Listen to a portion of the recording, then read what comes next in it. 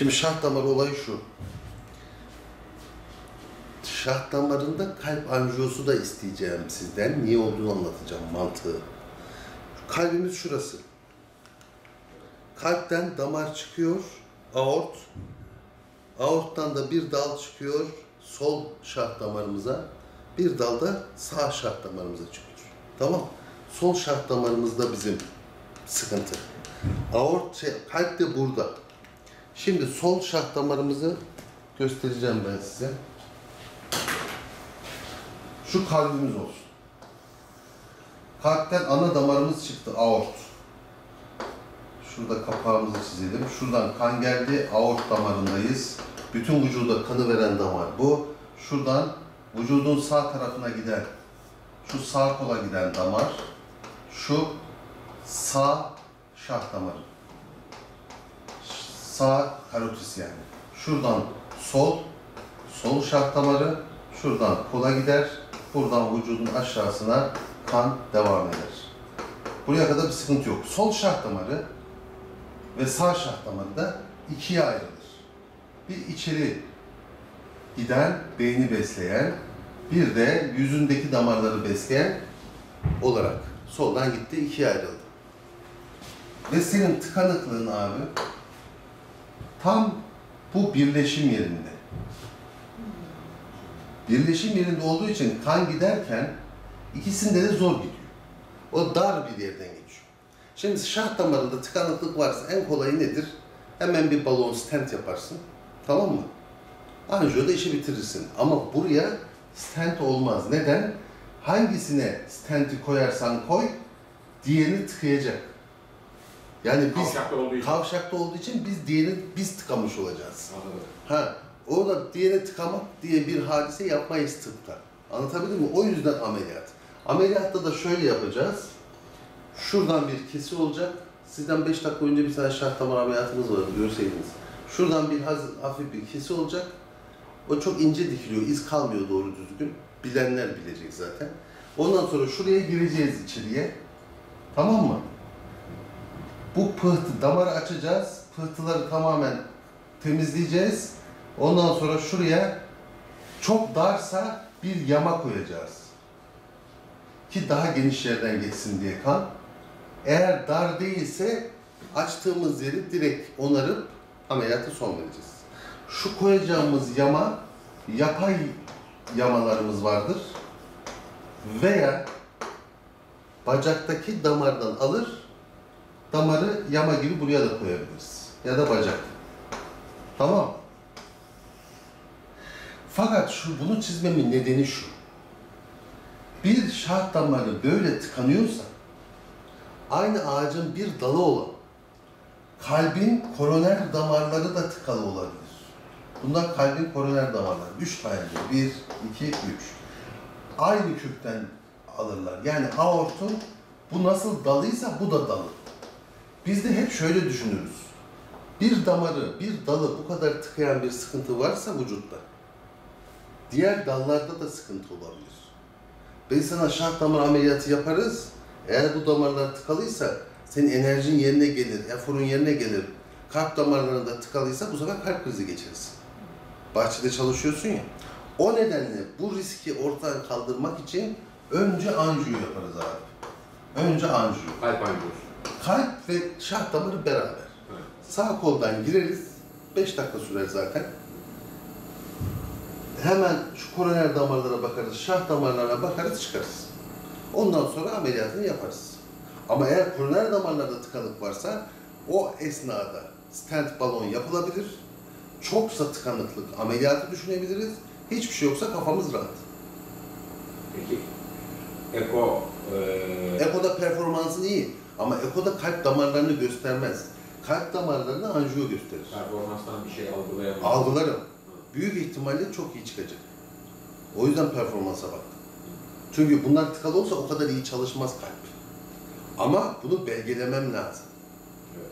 Hem hukuken hem tıbbi olarak bu koroner damarların iyi çalıştığını anjiyoya belgelerim. Zaten yaş itibariyle bir kere anjiyo olmanda da fayda var çünkü risk faktörlerim var. Sigara en büyük risk faktörüdür. İşte Doktor Ümit Bey. Şah damarının tıkanıklığı şişlik yapmaz.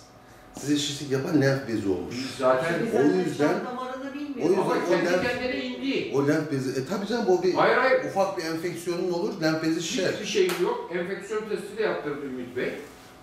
Sabah kalktık genel cerrah ama bizim hani de- her şey, her şey doktorumuz Ümit Bey. Ona gittik. Baktı. Vallahi dedi tükürük bezi tıkanması gibi dedi. Zaten bu tarafta da var dedi. Her neyse ultrason yaptıralım dedi. Ultrasona indik aşağıya. Ultrasoncu kurcaladı, kurcaladı bir şeyler oldu. Çıktım Ümit'e. Aa, Ümit'e dedim ki ya dedim indi burası. Hadi ya dedi. Hakikaten abi inmiş ya dedi. Şöyle de olur. Dedi kanal boşaldı demek ki dedi. Şöyle de olur. Bazen tükürük bezlerinde küçük taşlar olur. O tük, e, tükürük bezinin taşını ya ameliyatla cerrahi olarak, ameliyat değil mi büyük bir şey değil, ağzını açarsın. Kulak burun boğaz doktoru genelde yapar onu. Oradaki çok minnacık, gözle bile zor görülen taşı aldı mı, çünkü o tükürük bezin bir kanalı vardır ağzı açılan. Evet. O taş düştüğü zaman, aldığı veya oynadığın zaman düştüğü zaman hızlıca küçük Boşalttı kendi Ha, kendine. o tükürük bezinin şişmesidir. Tamam o sıkıntı yok ama o senin şah damarının tıkanıklığını görmemize neden olur. Buradan biz yola Evet. çıktık da başlangıçta şah damarına ulaştık. Oraya vardı iş. Yani bu bize bir Allah'ın şeyi Yani, oldu yani. Gibi oldu. Evet. Evet. Şimdi ilk yapacağımız iş kalp anjiyosu. Kalp artık karotis şah damar anjiyosu yapacağız aynı esnada. Ondan sonra da ameliyatın için konuşacağız. Ameliyat zor bir şey mi? Yok ameliyatımız yaklaşık 45 dakika sürer. Evet. Ha. Ameliyattan sonra bir akşam hastanede yatarsın. O da yoğun bakımda falan. Yok yoğun bakım da yok. Bize yoğun bakım dedi. Yok yoğun bakım da yok. Serviste yatarsın bir akşam sonra kalırız. Peki Ahmet Hocam bu e, damarın içindeki yani bu pıhtıyı pilav alırken damarın deformasyonu bilmem nesi veya o arada beyne kan gitmesi ne, ne oldu? Çok güzel soru bu. Yani Ee, Soru güzel. Ee, Şöyle bir bilgi vereyim. Hı. Şah damarı ameliyatının yapmamızın nedeni şudur. Sen bir daha orada pıhtı olmasın, beynine pıhtı gitmesin diye değil. O riski minimalize etmek için. Senin şimdi yılda yüzde 35-40 felç geçirme riskin var. Her yıl. Ameliyatta yüzde birlere düşer bu. Sıfıra düşmez. Anlatabildim mi? Biz ameliyatı riski en alta indirmek için yaparız. Sıfırlayamayız. Tabii ki o biz o damarı temizlerken zaten bozuk olan yeri temizliyoruz. Sağlam yerlere dokunmuyoruz. Sağlam yerlere dokunmadığımız için bu bir şey bozulmuyor. Zaten bozuk yeri temizleyip düzeltiyoruz. Kesip alıp ekleme mi yapıyoruz yoksa içinde İki pilav üç mı türlü alıyoruz? var. İki üç türlü var. Borunun Ha. Yani boruyu kesip ekleme mi yapıyoruz? şöyle göstereyim size. Şah damarınız bu. Tam şurada duruyor. Tamam mı? Şurada bir boru. Bildiğin boru. Bu boruyu şu dikişli yeri gördünüz mü? Anladım. Oradan kestik açtık. Evet. İçine girince içi temizledik. Sonra bunu direkt kendi üstünden böyle kapatabiliriz. Eğer genişliği beni tatmin ediyorsa ameliyatta. Tatmin etmiyorsa burayı açık bırakırım. O bacaktan veya dedim ya yapay bir yamayı buraya genişletirim. Burası daha bombe olur, geniş olur. Ha bu. Eğer bunu açtığın zaman hiçbir şansın yoksa içeride. Ki sen öyle değilsin ama bilgi olarak anlatayım. Tamamen tıkalı böyle hiç içini temizleyince damar olmayacak ise şuradan ve şuradan keserim şu arayı. Evet. Oraya bir bacak damarı alırım. Buraya yerleştiririm içine. Ameliyat. Yapay damar koymayız oraya. Bacak damarı koyarız. Bacağın toplar damarı. Bacakta bir şey olmaz. Peki bu bacaktaki damarı yani bildiğimiz kadarıyla konuşuyorum. Ya kalpte e, kalp damarları değiştirildiği zaman Kullanıyoruz. bozuyor. Kullanıyoruz. Peki biz bunu buraya heba edersek Hepsini heba etmiyorsun. Bir, Ha. şu kadar yaklaşık 1-2 santim alıyorsun. Bir de diyelim heba ettik hepsini. Mesela. Diyelim. Mesela. Veya kaza geçirdin o damarın gitti. Veya varis oldu onu çıkardılar. mesela. Veya pıht oldu. Biz kollardan alıyoruz, göğüs arkasından alıyoruz. Cerrah, ya cerrah her şeyi bulur. Merak etmeyin. Ee, zaten ilk amacımız o damar değildir e, kalp ameliyatında. Meme altı damarları dediğimiz. Bu iman tahtasının arkasında iki tane atar damar var. Onları koyarız biz. Çünkü onlar çok açık kalır. Bacaktaki damar 10 senede %50 tıkanır. Değil mi? Tabii. Ha. Veya koldaki atar damar alırız. Hep atar damar almamız gerekir kalp ameliyatında. Bacak damarı toplar damardır. Basıncı düşük olduğu için duvarları çok iyi değil. Genelde de bacaktan alıyorlar. E, kolaydır.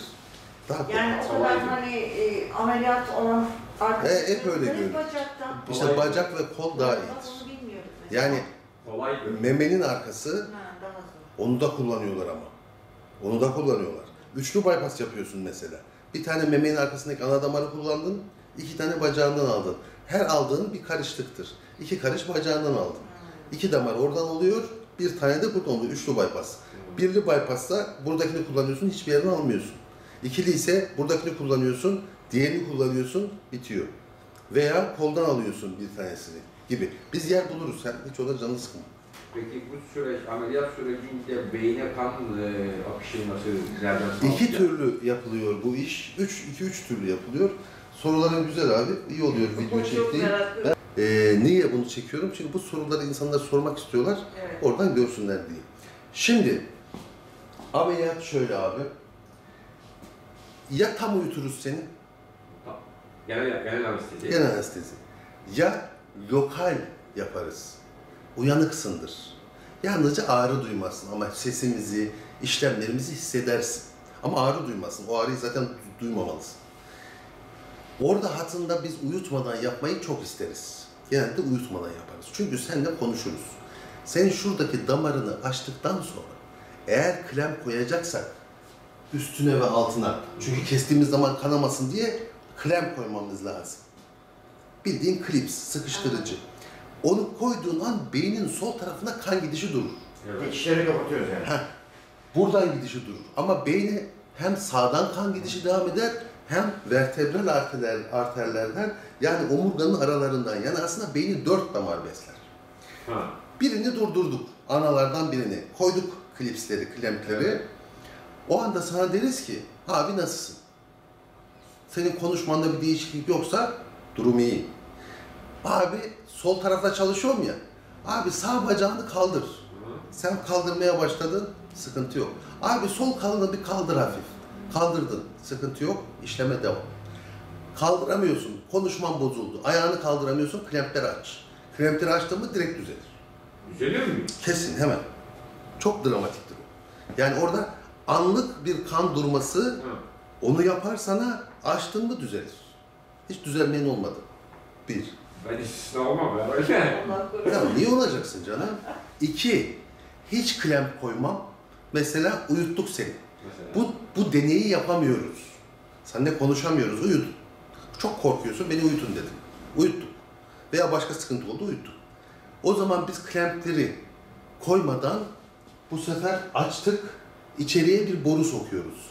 Çok damara hiç zararı olmayan tıbbi borular vardır. Bunun içinden gidiyor kan yukarı. O sırada biz dışarıdaki işleri yapıyoruz. Temizliyoruz bir şey. Evet.